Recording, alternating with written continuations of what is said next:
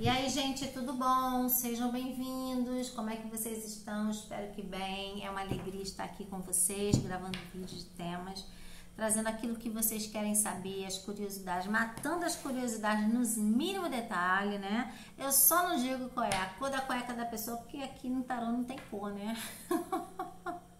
não tem como eu falar a cor, não tem como eu falar o nome, porque não tem nome escrito também, né? Mas o que a gente pode ver com as lâminas, a gente tenta ver. Bom, o que me pediram, gente? Me pediram para saber se em 2023 há alguma possibilidade de um encontro, de um reencontro, né? Digamos assim, e até mesmo, quem sabe, de uma reconciliação entre Demetrius de Mi e Janyaman. Bom, sem querer ser uma pessoa é, ridícula, né? Porque eu sei que a Demi está casada, então a gente teria que colocar da seguinte forma: será que há uma possibilidade da Demi é, conversar com o Jean, ter um encontro, um reencontro entre eles em 2023?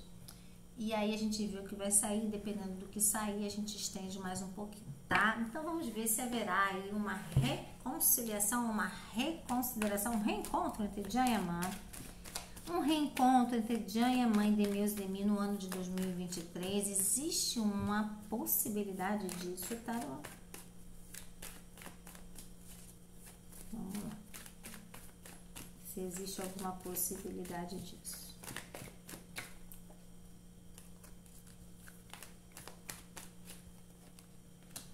A torre. A rainha de espadas, gente muita mágoa nesse coração. Olha, o grande obstáculo é a própria Demê, tá? Ó, nove de pau.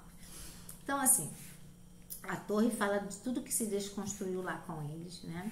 Aí vem a rainha de espadas, a mulher tá com o coração duro, né? Por conta das situações, dos obstáculos e é, é, é isso, é a mágoa do coração, né? O sol, o imperador, ah, a lua.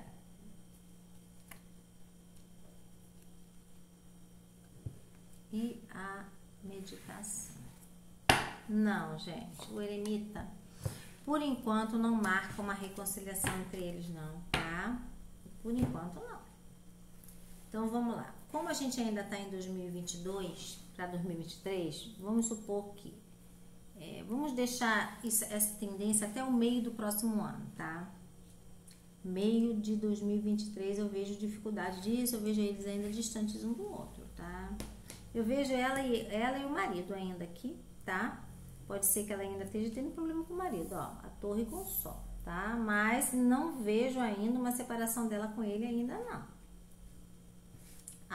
Até o meados de 2023 tá difícil aí, tá?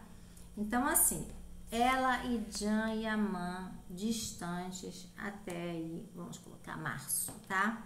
Não vejo isso acontecendo, não. A gente vai renovar esse tema, né? Então, até março, abril de 2023, eu vejo dificuldade deles se verem. Ela tem muita mágoa dele, gente, sério. Muita mágoa dele, tá? E eu vejo ela ainda enrolada com, com o marido ainda, tá? Aqui a lua com a meditação, ela ainda confusa em relação a esse casamento. Puta merda. A mulher linda daquela, né, gente? Vamos combinar, mas é isso. Então, assim, gente, eu não vejo, não, tá? Como saiu aqui, eu vou ter que levar a história aqui para outro caminho, né? A gente viu ali, ela, algumas, algumas confusões no casamento. Como é que fica o casamento de Demir e Gemi até março de 2023, né?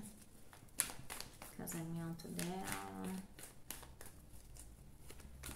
de 2023. Oito de paus, princesa de copas. Casamento com os Rancourt.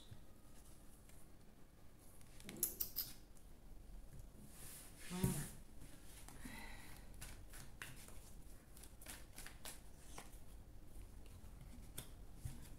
Nossa.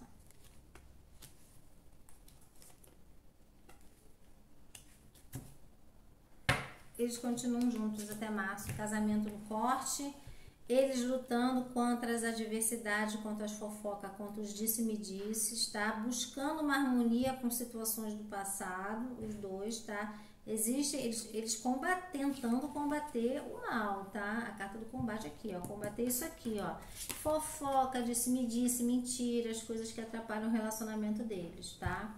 É, o seis de paus do lado do quatro de copas me traz vitórias, né? Eles superando as dificuldades. Então, até março do ano que vem, eu não vejo ele, é, eles assim se separando, se divorciando, ainda não, tá?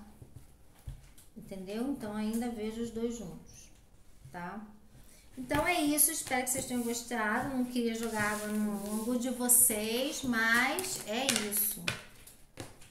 Fiquem com Deus, um beijo e até mais. Tchau, tchau, gente.